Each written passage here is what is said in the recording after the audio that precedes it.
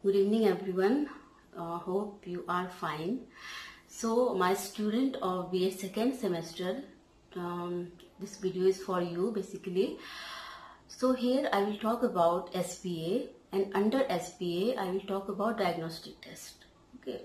So my student, as you know that you have to go for your school based activity. So uh, पहले मैं आपको बताऊँगी what is this SBA. SBA का what is the concept in short. So S B M school based activity क्या होता है कि B Ed में when you are doing B Ed you are not learning only the academic part you are not learning only the can say content part और the curricular aspect you are also learning the co curricular aspect क्योंकि when you are becoming a teacher you have to discharge all the duties like school में जो जो होता है like you learn record and register you learn about how to make timetable, importance of timetable, how cumulative record card, case study, action research, like that क्या होता है कि inside the school there are so many activities you have to perform you have to learn so being a teacher और आपका एक holistic development as a teacher होने के लिए you should know and aware about the various activities which you have to perform in the school so under this school based activity आप लोग सीखते हो various activities we have certain list of activities जो आप क्या करते हो, आपके स्कूल में परफॉर्म करते हो. So I will talk about the diagnostic test okay that is the most important thing you have to know to being a teacher क्योंकि जब आप टीचर बनते हो and to be a very sensitive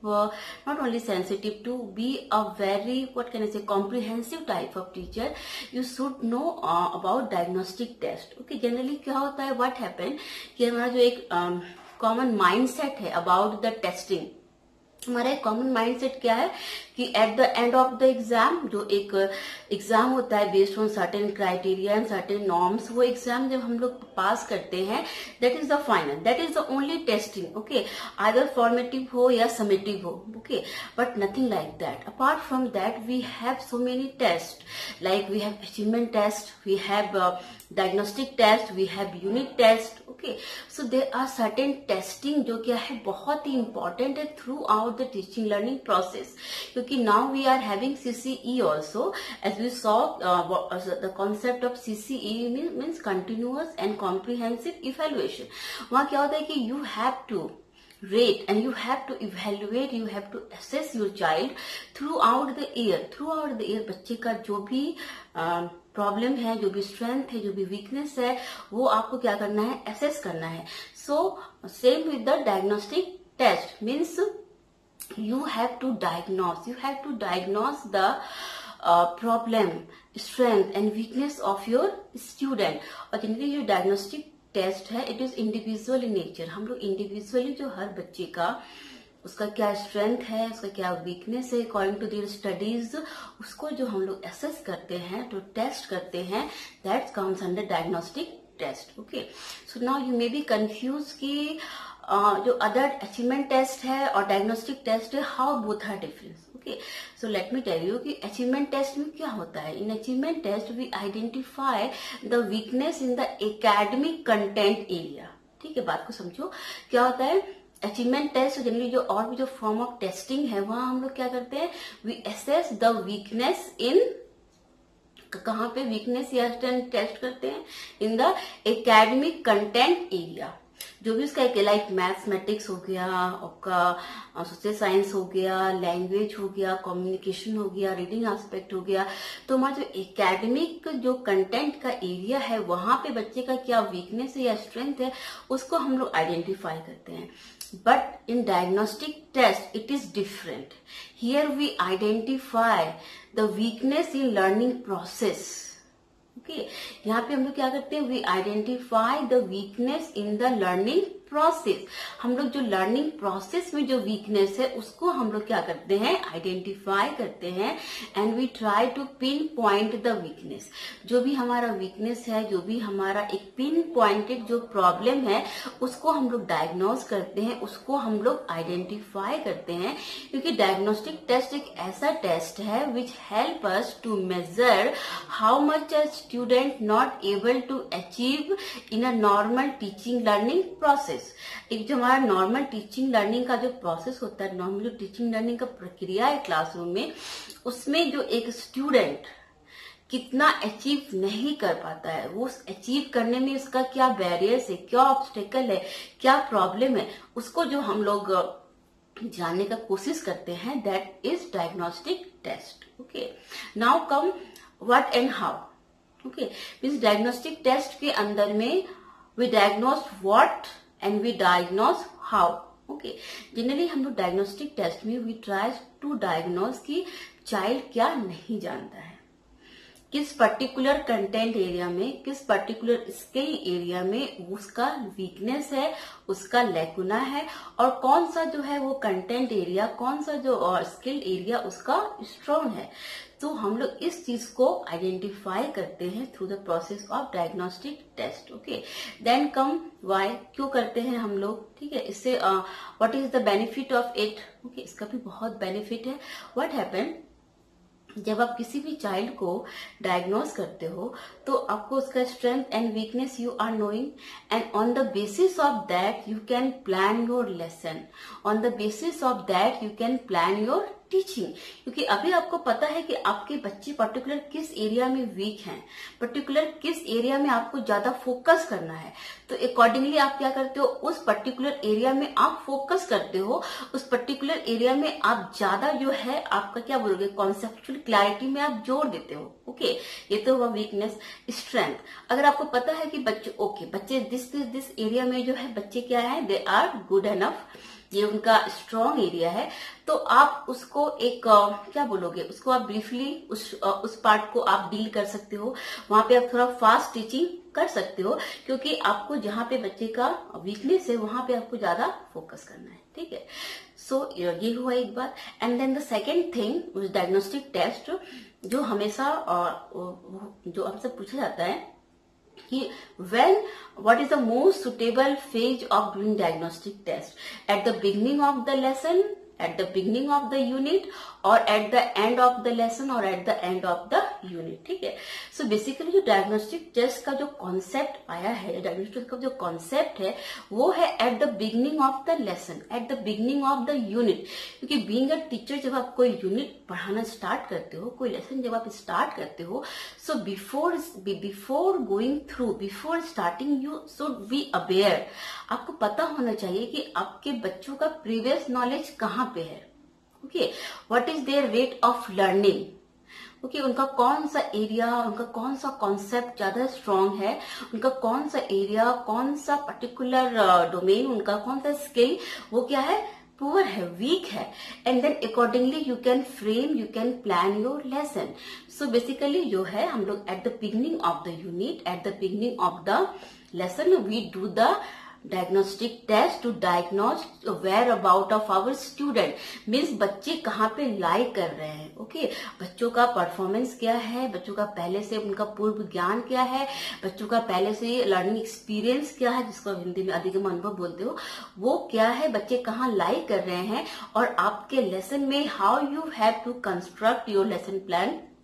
how you have to construct your teaching इसमें हमको बहुत help uh, होता है क्योंकि नाउ वी आर नोइंग कि हमारे बच्चे जो है वो कहाँ पे उनको ज़्यादा कॉन्सेप्ट क्लैरिफिकेशन का ज़रूरत है कहाँ पे कम में वो ज़्यादा अंडरस्टैंड करेंगे और कहाँ पे they need more examples more clarification तो डायग्नोस्टिक टेस्ट के हेल्प से हम वो चीज़ को जान पाते हैं ठीक है? एंड देन ऐसा नहीं कि हमेशा we can take at the beginning at the end नहीं ले सकते yes we can take at the end also okay जैसे कि एक टर्म है प्री यूनिट टेस्ट अब देखो कुछ स्कूल्स में, या आप लोग भी इसको फेस किए होंगे we are having pre unit test okay तो हमारे प्री यूनिट टेस्ट है. That is the example of diagnostic test beforehand मतलब बिफोर टीचिंग अगर आप कोई डायग्नोस्टिक टेस्ट ले रहे हो so pre unit test okay means unit को स्टार्ट करने के पहले उस यूनिट पे आधारित जो आप एक टेस्ट डेवलप किए हो टू जज कि इस यूनिट में आपको बच्चों को कैसे पढ़ाना है और किस किस एरिया को ज़्यादा कवर करना है और किस किस एरिया को मॉडरेट कवर करना है। तो इस चीज़ को आप क्या करते हो प्री यूनिट टेस्ट से आप उसको एसेस mm, करते हो उसके लिए you are taking pre unit test but suppose कि आपने प्री यूनिट टेस्ट लिया on the basis of your unit test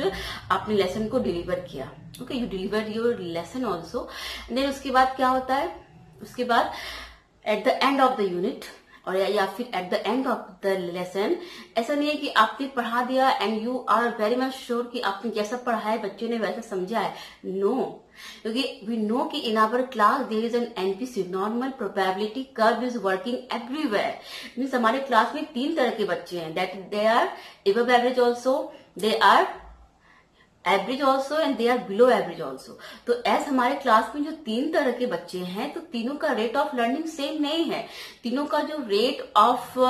taking our instruction and उनका जो लर्निंग आउटकम है, वो कभी भी सेम नहीं हो सकता है. So for that we have to assure that आपने जो भी आपका अधिकम अनुभव था जो लर्निंग एक्सपीरियंस आप उनको देना चाहते थे how much they have achieved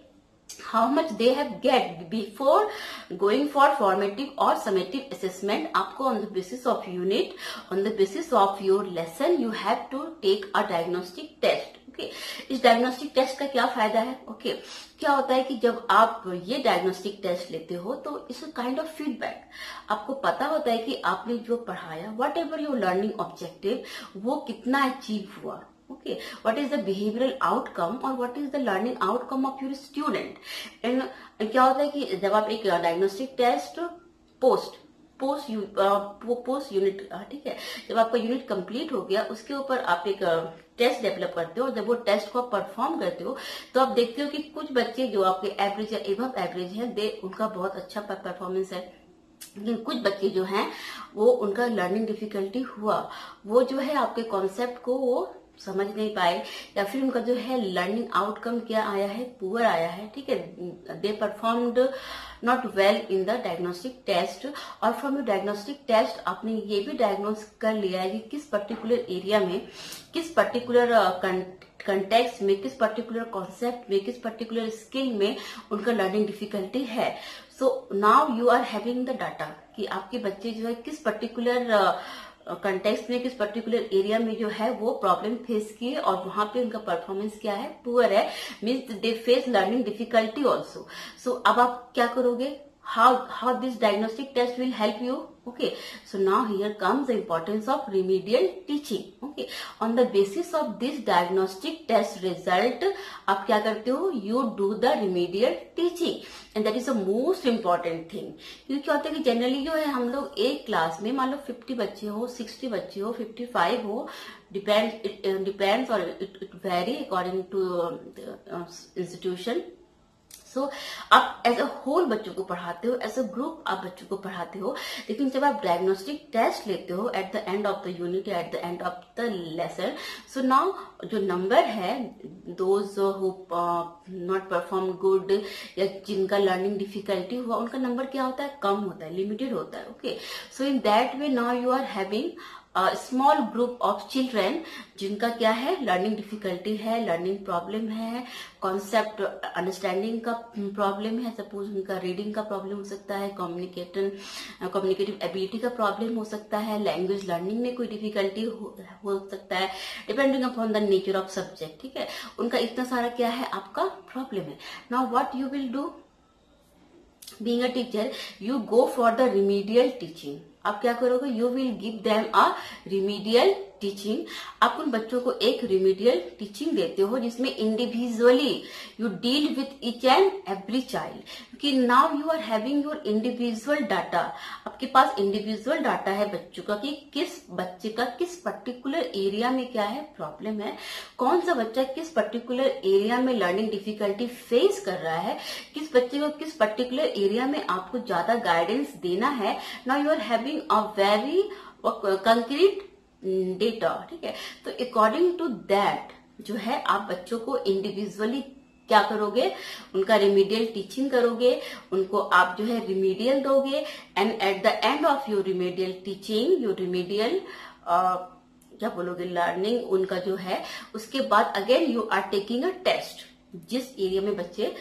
खराब परफॉर्म किए थे जिसको आप पिन पॉइंटेड किए जिसको आप हाईलाइटेड किए और, और जिसके ऊपर आप बच्चों को रिमीडियल टीचिंग दे हो उसके ऊपर आप क्या क्या करोगे? You will again prepare a diagnostic test और उनका प्री डायग्नोस्टिक टेस्ट करोगे कि नाउ दे अचीव और नॉट ठीक है? क्योंकि बींग अ टीचर हमारा रिस्पॉन्सिबिलिटी सिर्फ़ उन बच्चों के लिए नहीं है those who can do well okay you have to make them learn also जो जो क्या लर्निंग डिफिकल्टी फेस करते हैं. So by taking diagnostic test before the teaching and by taking diagnostic test at the end of the teaching, we assure कि इन बच्चों का learning experience इनका बिहेवियरल आउटकम अकॉर्डिंग टू जो आपने लर्निंग ऑब्जेक्टिव जो लर्निंग इंडिकेटर आप set किए हो इन योर लेसन प्लान उसके अकॉर्डिंग आ रहा है या नहीं so in that way diagnostic test help हम लोगों को बहुत ज़्यादा हेल्प करता है, क्योंकि बीइंग अ टीचर सब responsibility teach each and every child okay as you know कि there is an individual difference in our classroom हमारे क्लासरूम में इंडिविजुअल डिफरेंस है. No two child are same even not only individual difference as we know that uh, we are having inter and intra difference. ठीक है ना बच्चे ऐसा नहीं कि they are having only no two child are same okay even a single child is not same in two different subject तो ये जो हमारा इंट्रा डिफरेंस है जिसमें एक चाइल्ड जो है इक्वली अच्छा परफॉर्म नहीं कर सकता इवन इन टू सब्जेक्ट अगर एक चाइल्ड मैथ्स में अच्छा है तो वो अकॉर्डिंगली वो लैंग्वेज में भी अच्छा परफॉर्म करे। आ, वो साइंस में अगर अच्छा है तो अकॉर्डिंगली वो सोशल साइंस में भी अच्छा परफॉर्म करे। इसका गारंटी हम नहीं ले सकते क्योंकि there is an intra difference okay so being a teacher आपको ये जानना है कि वॉट इज़ द प्रॉब्लम अगर चाइल्ड एक सब्जेक्ट में अच्छा कर पा रहा है तो दूसरे सब्जेक्ट में अच्छा नहीं कर पा रहा है so there must be certain reason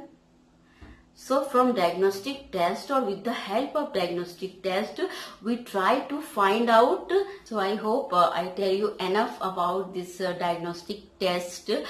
Uh, uh, क्योंकि ये आपके लिए न्यू थिंग था so I just try to clarify कि डायग्नोस्टिक टेस्ट क्या होता है इसको हम लोग अभी जैसे ऑनलाइन लर्निंग का का क्या बोलोगे प्रोसेस है या फिर online learning we are having due to lockdown आप डायग्नोस्टिक टेस्ट ऑनलाइन भी ले सकते हो like with the help of Google form या फिर hot potatoes there are so many apps there are so many web tools जो आपको जो है ऑनलाइन uh, जो है टेस्ट डेवलप करने में हेल्प करता है। तो जो भी आपका क्वेश्चन आइटम्स है वो आप ऑनलाइन उस फॉर्म की मदद से उस टूल वेब टूल में आप जो है उसको फ़ीड करोगे। And with the help of email Gmail या फिर with the help of uh, you can send that what can I say test item to your student जो भी आपका स्टूडेंट है उसको आप भेज सकते हैं वो उस पर रिस्पॉन्ड करेगा। And then they send you back and then आप इवेलुएट कर लोगे कि उसका, कहाँ पे उसका प्रॉब्लम है। और ये जो टूल्स है दैट इज़ सो हेल्पफुल क्योंकि ये आपका, इसमें आप ऑब्जेक्टिव भी यूज़ कर सकते हो सब्जेक्टिव भी यूज़ करते हो multiple choice also close ended also open ended also short answer long answer any form of question item you can feed there you can put put there okay so ये आपके लिए थोड़ा सा bit um, problematic hoga कि you you can't locate your student okay due to lockdown so just try to make a report okay uh, try to make a report on the basis of this diagnostic test और भी कोई doubt है कोई problem है you can ask me any time in our WhatsApp group और you are having my mail ID also anywhere or you can have my, my number also you can call me you can message me on whatsapp or mail also and just try to develop a report okay. So um, in my second lecture so the, that is the continuation of this lecture only there is a powerpoint of diagnostic test. So just go through that powerpoint and try to learn more about diagnostic test and afterward try to develop one diagnostic test for your school based activity based on your method subject जो भी आपका subject आप लिए हो your pedagogy subject जो भी आपका UG और PG का subject है and upon that try to develop one diagnostic test okay so thank you so much for your patience hearing okay and after this just follow my next lecture also okay thank you so much